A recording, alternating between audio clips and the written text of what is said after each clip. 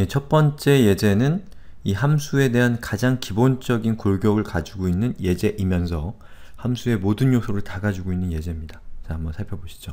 자, 제가 이걸 실행을 하게 되면 음, 자, 3이라는 값이 출력이 되네요. 자, 로직을 보시죠.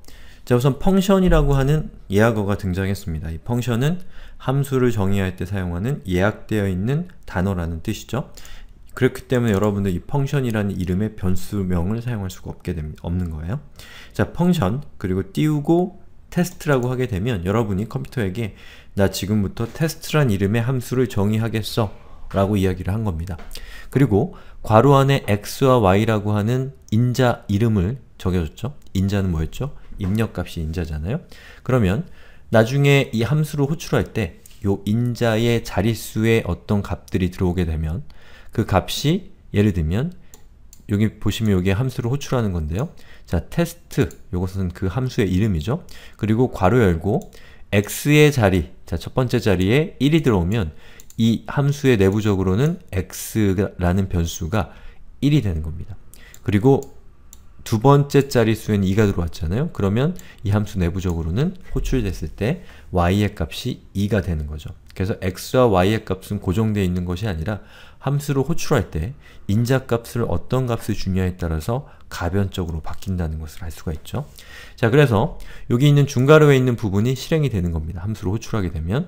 그래서 자, z라고 하는 변수에 x 더하기 y, 즉 입력값 인자의 값 x와 인자의 그 인자 이름 y의 값이 어, 더해져서 z라는 어, 새로운 변 z라는 변수에 그 더해진 값이 저장이 되는 거죠.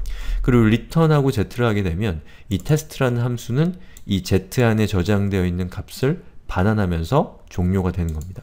만약에 이 뒤에 뒤에 뭐 어떤 로직 같은 것들이 이렇게 들어가 있다고 하더라도 예를 들면 이런 식으로요. 그래도 앞에 리턴이 나타나게 되면 함수는 즉시 종료되기 때문에 이 밑에 따라오는 얼럿과 같은 것들은 예, 무시가 되는 겁니다. 자 그러면 여기 있는 요 테스트라고 하는 이 함수를 어떻게 호출하냐면 앞쪽에 펑션이라고 하는 것을 사용하지 않고요. 그 함수의 이름을 그대로 사용을 해서 괄호의 첫 번째 자릿수에 1을 주게 되면 이 1이라고 하는 값은 이 함수 내부적으로는 x라고 하는 지역 변수의 값으로 사용이 되는 거고요. 그리고 두 번째 자릿수에다가 2를 주게 되면 이 함수의 두 번째 자리 인자 이름인 y라고 하는 변수에 2라고 하는 값이 들어가서 내부적으로 사용이 되는 겁니다. 그래서 그 결과가 return이 되면 자 위에 있는 그 이 함수 요 인자 인자를 이렇게 전달하게 되면 저 위에 있는 함수의 내부적인 로직에 의해서 return 값은 3이 되거든요. 그러면 여기에 3이 이렇게 치환된 것과 같은 결과를 나타내게 되는 겁니다. 자 그럼 제가 한번 실행을 시켜볼게요. 자, 런을 하면 자 보시는 것처럼 3이 출력됐습니다. 자 그런데 제가 이 함수를 이렇게 한 번만 쓰는 거면 사실 굳이 이렇게 할 필요가 없어요. 예, 직접 하시면 됩니다. 근데 함수의 진짜 목적은 자 이런 것처럼 자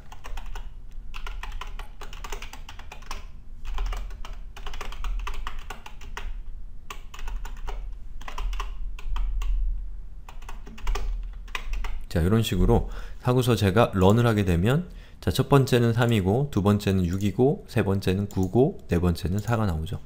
이런 식으로 여러분이 이미 위에서 기술했었던 로직을 다시 언급할 필요 없이 예, 그냥 그 로직을 감싸고 있는 함수의 이름만 호출하게 되면 여러분들이 그 함수 안에 포함되어 있는 로직, 로직을 재활용할 수 있다는 거죠. 바로 이 재활용이 함수를 사용하는 가장 중요한 목표입니다.